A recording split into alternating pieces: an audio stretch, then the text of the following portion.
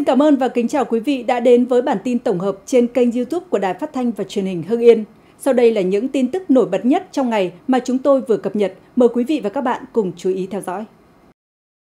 Cụm công nghiệp Quán Đỏ huyện Phù Cử nằm ở khu vực có tiềm năng phát triển công nghiệp của tỉnh Hưng Yên và huyện Phù Cử với chuỗi các cụm công nghiệp dọc theo tuyến quốc lộ 38B đang phát triển. Cụm công nghiệp Quán Đỏ là cụm công nghiệp lớn nhất huyện Phù Cử với diện tích trên 66,5 ha thuộc địa phận thôn Đồng Minh, xã Đoàn Đào nhằm tạo điều kiện và thu hút các doanh nghiệp, các tập đoàn tới đầu tư và phát triển kinh tế trên địa bàn huyện Phù Cử. Hiện nhà thầu là công ty cổ phần Husky đang đẩy nhanh tiến độ xây dựng cơ sở hạ tầng cụm công nghiệp Quán Đỏ. Cụm công nghiệp Quán Đỏ có tổng mức đầu tư gần 840 tỷ đồng, ưu tiên các ngành công nghiệp sạch, các ngành công nghiệp nhẹ, công nghiệp cao sử dụng tiết kiệm năng lượng, các ngành nghề sản xuất kinh doanh khác phù hợp với quy hoạch phát triển kinh tế xã hội của tỉnh Hưng Yên. Cụm công nghiệp Quán Đỏ sẽ có đầy đủ cơ sở hạ tầng như nhà điều hành, mạng lưới điện, hệ thống thoát nước, hệ thống phòng cháy chữa cháy, hệ thống giao thông quanh cụm công nghiệp, hệ thống xử lý nước thải. Hiện nhà thầu đang tập trung nguồn lực để xây dựng cơ sở hạ tầng cụm công nghiệp, phấn đấu sẽ hoàn thành vào quý 1 năm 2025.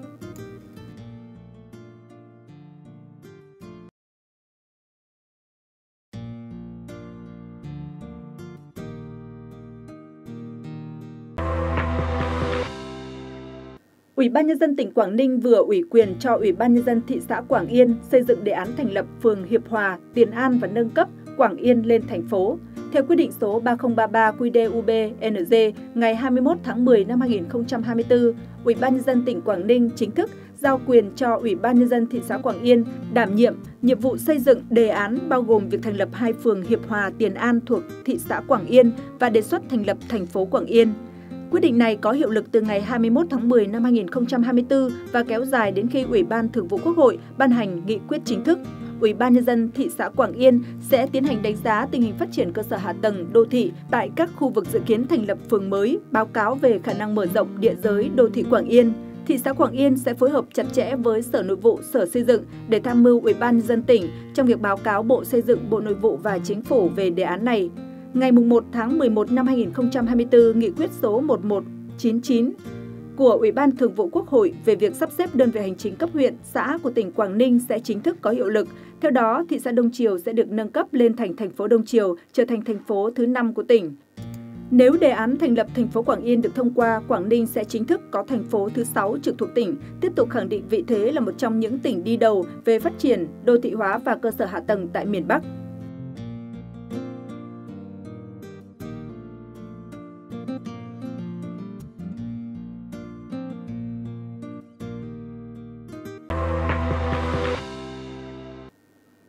Bộ Giao thông Vận tải vừa có công văn số 11382 trả lời kiến nghị của cử tri tỉnh Sơn La liên quan đến đầu tư xây dựng các tuyến đường giao thông trên địa bàn góp phần phát triển kinh tế xã hội. Theo Bộ Giao thông Vận tải, quy hoạch mạng lưới đường bộ thời kỳ 2021-2030, tầm nhìn đến năm 2050, tuyến cao tốc Mộc Châu thành phố Sơn La có tổng chiều dài 105 km với quy mô 4 làn xe tiến trình đầu tư trước năm 2030. Bên cạnh đó, quốc lộ 6 có tổng chiều dài 466 km, đoạn qua tỉnh Sơn La dài khoảng 213 km, có quy mô đường cấp 3, 2 đến 6 làn xe.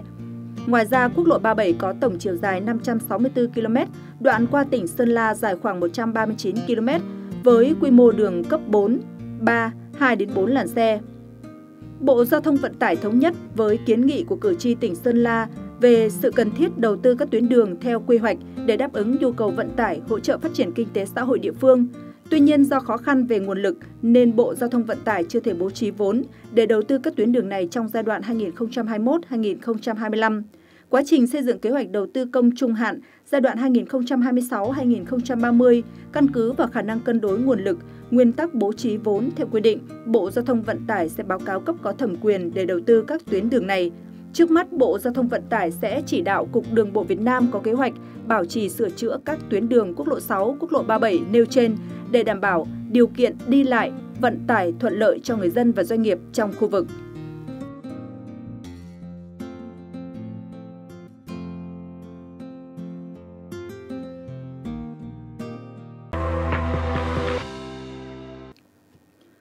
Công viên Hội An của tỉnh Thanh Hóa được xây dựng từ năm 2003 với diện tích rộng 24 ha, là công viên lớn nhất trên địa bàn toàn tỉnh. Đây là công viên có 4 mặt tiền, nằm trên hai tuyến phố sầm uất nhất thành phố Thanh Hóa là Lê Hoàn và Lê Lợi. Năm 2009, để kỷ niệm sự kiện kết nghĩa giữa thị xã Hội An Quảng Nam và thị xã Thanh Hóa, nay là thành phố Thanh Hóa, công viên Thanh Hóa đã được đổi tên thành công viên Hội An. Công viên này được xem là lá phổi xanh của thành phố, nơi có không khí trong lành và thu hút đông đảo người dân đến tham quan ngắm cảnh và tập luyện thể dục thể thao. Hiện nay, các công nhân và máy móc của nhà thầu đang khẩn trương hoàn thành các hạng mục cuối cùng của dự án nâng cấp cải tạo công viên Hội An. Các công việc bao gồm lát vỉa hè, hoàn thiện cổng chính và cổng phụ, lát đá trên các tuyến đường giao thông, lắp đặt hệ thống thoát nước, di chuyển và trồng mới cây xanh, đồng thời đắp 6 quả đồi nhân tạo tại khu A và khu C để trồng cỏ, bò và cỏ nhân tạo. Do ảnh hưởng của mưa bão kéo dài sau kỳ nghỉ lễ mùng 2 tháng 9, thời tiết không thuận lợi đã làm chậm tiến độ thi công. Tuy nhiên, trong những ngày gần đây, nhà thầu đã tận dụng thời tiết nắng giáo, huy động khoảng 160 đến 170 lao động, 20 kỹ sư và nhân viên kỹ thuật cùng 15 xe tải máy lu, máy ủi và máy xúc để đẩy nhanh tiến độ thi công, đảm bảo hoàn thành dự án theo đúng cam kết hợp đồng. Công viên Hội An được xem là lá phổi xanh của thành phố, nơi có không khí trong lành và thu hút đông đảo người dân đến tham quan, ngắm cảnh và tập luyện thể dục thể thao. Đặc biệt công viên còn mang dấu ấn tình kết nghĩa giữa thành phố Thanh Hóa và Hội An. Những mô phỏng như chùa cầu Hội An và phố cổ Hội An tạo điểm nhấn độc đáo cho khu vực. Hiện nay, dự án đang gấp rút hoàn thiện với tổng diện tích cải tạo lên đến 19,37 ha. Các hạng mục chính bao gồm hệ thống cổng tường rào, đường giao thông nội bộ, hệ thống cấp thoát nước, điện chiếu sáng, điện trang trí cây xanh thảm cỏ, nhà vệ sinh, cây lọc nước, camera an ninh, ghế đá thùng rác, thiết bị thể thao ngoài trời, tượng nghệ thuật và nhà điều hành công viên. Ngoài các khu A, B, C, D được bố trí cho các hoạt động thể dục thể thao, khu lâm viên và khu vực giao lưu văn hóa Thanh Hóa Hội An, công viên cũng có khu trung tâm và khu tưởng niệm Hồ Chí Minh. Việc cải tạo không gian kiến trúc ở đây nhằm tận dụng tối đa các yếu tố cảnh quan cây xanh và mặt nước, đồng thời tách biệt rõ ràng giữa khu vực tĩnh và khu vực động để phục vụ nhu cầu tham quan và giải trí của người dân.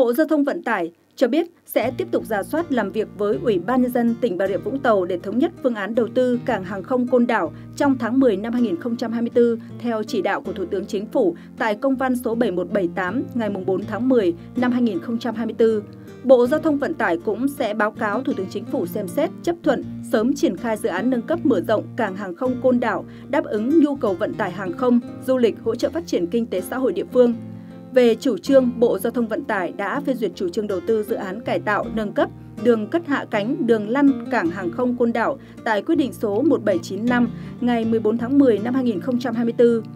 Trong quá trình triển khai nghiên cứu khả thi trên cơ sở đề xuất của Ủy ban nhân dân tỉnh Bà Rịa Vũng Tàu và thực hiện chỉ đạo của lãnh đạo chính phủ, Bộ Giao thông Vận tải đã giao các đơn vị liên quan và tư vấn quốc tế thực hiện giả soát, nghiên cứu, lập phương án đầu tư tổng thể, đồng bộ các hạng mục của cảng hàng không Côn Đảo – trên cơ sở kết quả nghiên cứu của tư vấn quốc tế, Bộ Giao thông Vận tải đã báo cáo Thủ tướng Chính phủ phương án đầu tư phát triển cảng hàng không Côn Đảo tại công văn số 10154 ngày 20 tháng 9 năm 2024.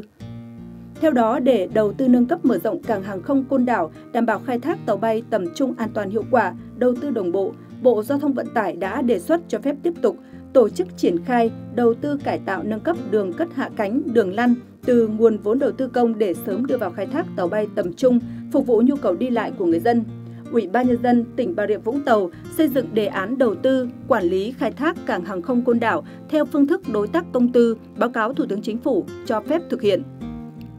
Liên quan đến ý kiến đề nghị có giải pháp khuyến khích các doanh nghiệp, công ty đầu tư khai thác đường bay Côn Đảo Sài Gòn, Côn Đảo Cần Thơ để không còn tình trạng độc quyền như hiện nay, Bộ Giao thông Vận tải cho hay Do hạn chế về cơ sở hạ tầng nên hiện nay cảng hàng không Côn Đảo chưa tiếp nhận được các loại tàu bay tầm trung như A319, A320 mà chỉ tiếp nhận được các loại tàu bay như ATR72, Embraer, E190 nên việc khai thác đến Côn Đảo có phần hạn chế.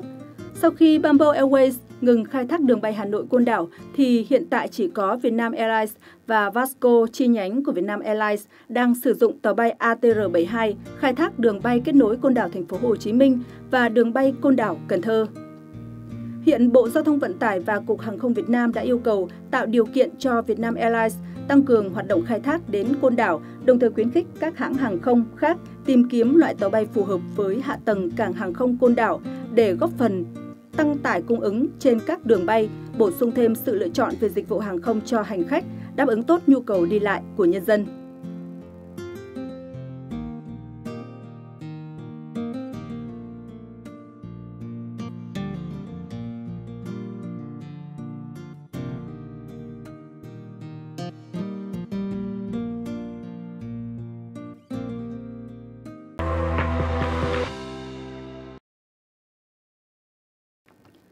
Đại diện chủ đầu tư, Ban quản lý dự án đầu tư xây dựng các công trình giao thông thành phố Hồ Chí Minh, Ban Giao thông cho biết, đến nay sản lượng dự án đường vành đai 3 thành phố Hồ Chí Minh đạt khoảng 20%, riêng năm gói thầu qua đoạn 3 huyện Củ Chi, Hóc Môn, Bình Chánh đạt khoảng 21%. Ban Giao thông cho biết, mục tiêu đặt ra của dự án là đến ngày 30 tháng 1 năm 2026 sẽ thông xe kỹ thuật cầu cạn đoạn thành phố Thủ Đức Đến ngày 30 tháng 4 năm 2026, thông xe tuyến chính, cao tốc đoạn huyện Củ Chi, Hóc Môn Bình Chánh.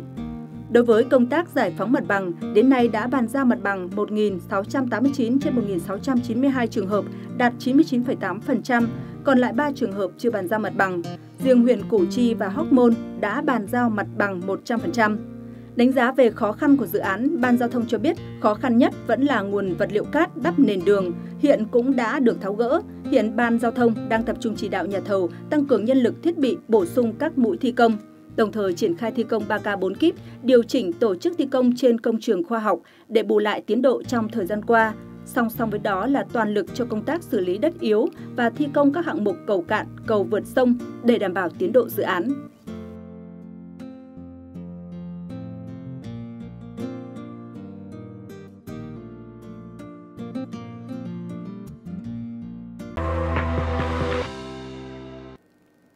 Theo quy hoạch, Việt Nam đến năm 2045 sẽ gồm 6 vùng 3 cực tăng trưởng, 8 khu vực động lực, 5 hành lang du lịch chính, 11 trung tâm du lịch.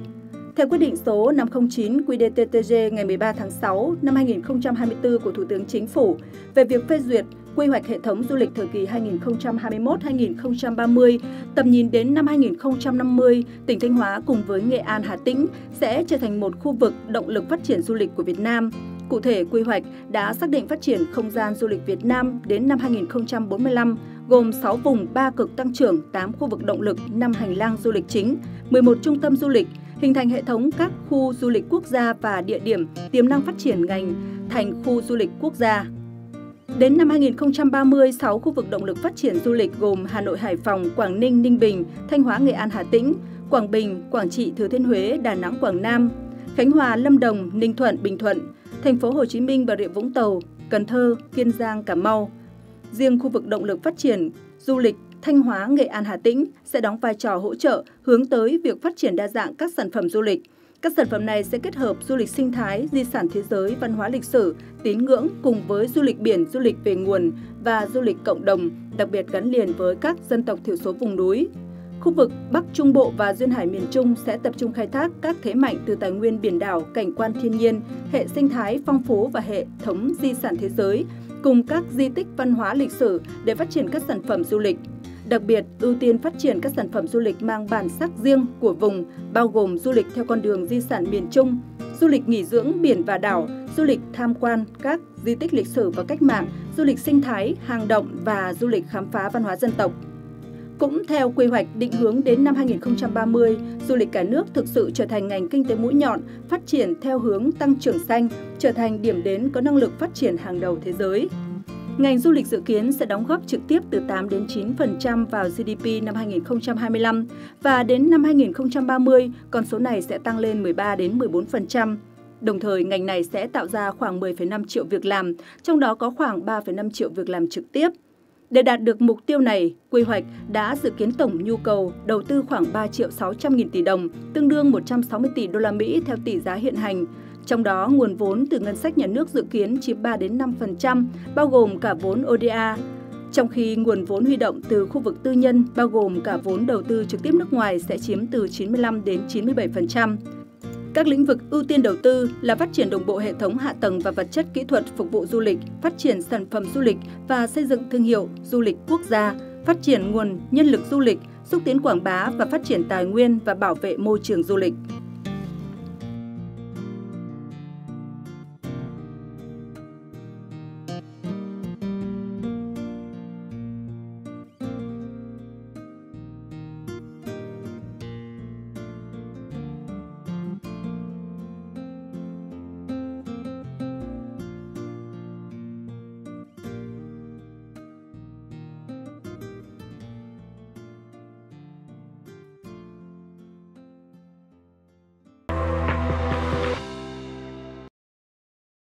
Phó Thủ tướng Chính phủ Trần Hồng Hà vừa ký quyết định số 1245 QĐ-TTG về chủ trương đầu tư dự án đầu tư xây dựng và kinh doanh kết cấu hạ tầng khu công nghiệp Trung Thành, tỉnh Nam Định. Quyết định chấp thuận chủ trương đầu tư xây dựng và kinh doanh kết cấu hạ tầng khu công nghiệp Trung Thành, tỉnh Nam Định dự án, đồng thời chấp thuận nhà đầu tư dự án là Công ty Cổ phần Đầu tư Phát triển Hạ tầng Nam Định. Mục tiêu dự án là đầu tư xây dựng và kinh doanh kết cấu hạ tầng khu công nghiệp, loại hình khu công nghiệp hỗ trợ. Quy mô sử dụng đất của dự án là 200 ha, địa điểm thực hiện dự án tại xã Yên Trung và xã Yên Thành, huyện Ý Yên, tỉnh Nam Định. Tổng vốn đầu tư của dự án là 1.657,098 tỷ đồng, trong đó vốn góp của nhà đầu tư là 250 tỷ đồng. Thời hạn hoạt động của dự án là 50 năm kể từ ngày dự án được chấp thuận chủ trương đầu tư, đồng thời chấp thuận nhà đầu tư. Tiến độ thực hiện dự án không quá 24 tháng kể từ ngày được nhà nước bàn giao đất – quyết định giao Ủy ban dân tỉnh Nam Định chỉ đạo ban quản lý các khu công nghiệp tỉnh Nam Định hướng dẫn nhà đầu tư quy định cụ thể tiến độ thực hiện dự án, trong đó lưu ý tiến độ góp vốn chủ sở hữu của nhà đầu tư để thực hiện dự án phải đảm bảo tuân thủ quy định của pháp luật về đất đai. Bộ Kế hoạch và Đầu tư chịu trách nhiệm về những nội dung được giao thẩm định chủ trương đầu tư dự án và thực hiện quản lý nhà nước về khu công nghiệp theo quy định của luật đầu tư và pháp luật có liên quan